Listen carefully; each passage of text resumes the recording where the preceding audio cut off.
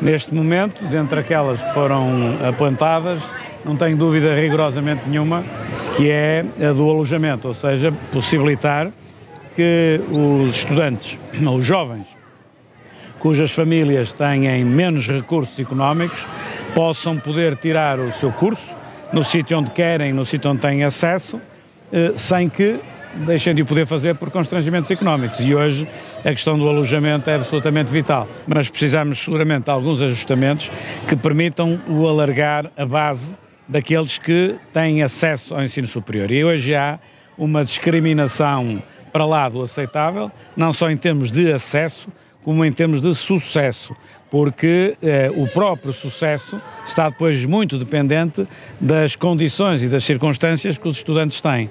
E nós temos de lutar não por uma sociedade completamente igual, porque isso é utópico, mas por uma igualdade de oportunidades para todos.